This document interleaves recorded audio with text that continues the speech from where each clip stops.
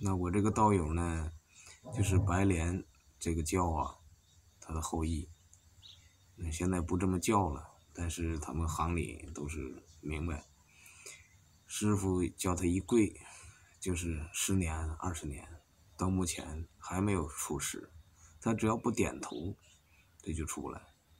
那跪什么呢？那练功啊，要跪坟地啊，而且是那种没有家主的孤魂野鬼。因为别人他也不让你乱跪嘛。然后练这种阴功啊，说实在的。很消耗阳人的，但是这种人将来出来，那一定是能有能做一些大的事儿啊！常年接触这些阴气儿，那到后来已经跟这个鬼呀经常沟通了。那他的朋友周边没有人嘛，啊，只有这么多鬼。然后呢，就有一些故事。我们简单说一说啊，毕竟不是自己身上发生的，有些呢，啊，信也好，不信也好。嗯，首先说这种，嗯，不建议大家这样修，呃，这种都是练的阴功，啊，对洋人是不太好的。他那个面相啊，已经，嗯，二三十岁的人，那么就像六七十岁。啊，曾经我们这个这个皱纹呢，一看，那简直是很可怜。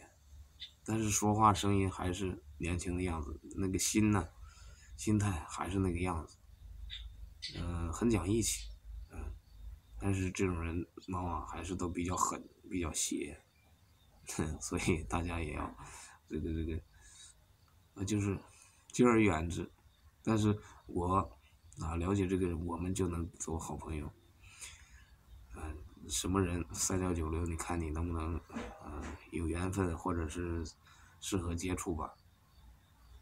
那么他就说呢，嗯，这个跟他们沟通的时候啊，就下面，那告诉你这个地下十八层啊，嗯，掌管的是谁呢？嗯，我们看过《封神榜》那个黄飞虎。啊，大将军，那个这个封侯啊，将相，那么他就是主管十八层的这个人。有人说现在又有十九层啊什么的，那是呃地藏王菩萨他单设的一个修行人的，呃，当然也更多信他教的这么一个地域，他的威望很大。但是常态下的这个呃常务理事，他是黄飞虎。啊，就管这一共十八层，然后呢，这个啊轨道啊，他一般人我们知道是鬼呀，飘来飘去，鬼精灵，当然鬼很聪明，但是这个呃也分也有好坏嘛，哪儿都有好坏啊，他们这个。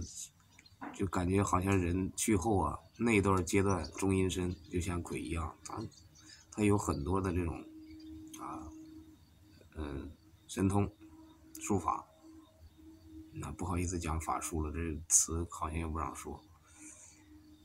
然后，呃，就是他们穿的一身呢，往往也都是素服啊、白衣啊，呃，红衣呢就叫厉鬼，那那比较凶了。啊他有走之前有很强的执着性，甚至几十年、百年，那千年的那道行就更深了。那那很执着一个人，他要复仇，甚至三世，三个轮回都要找你来报。啊，这种鬼故事我们这个看到的、听到的也太多了。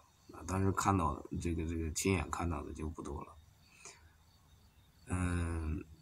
他就是这个缘分，经经常能看到呢，就是没有脚，啊，就那样飘，但实际上呢，下面是模糊的。